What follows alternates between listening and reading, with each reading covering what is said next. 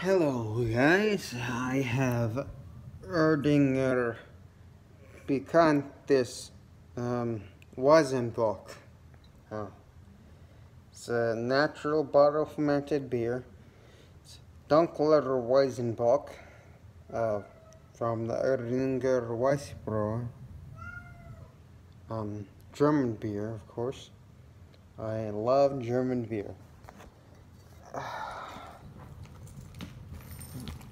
They had this at Broadway Heights, but I tried to order it and I found out I was broke, so I went and I bought one with the remaining cash that I have.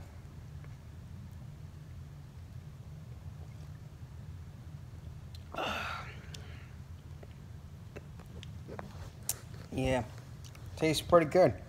Tastes like uh, that Paulaner beer that I reviewed that other time tastes like that.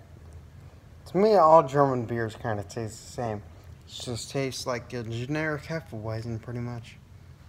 So yeah, um, yeah, bye.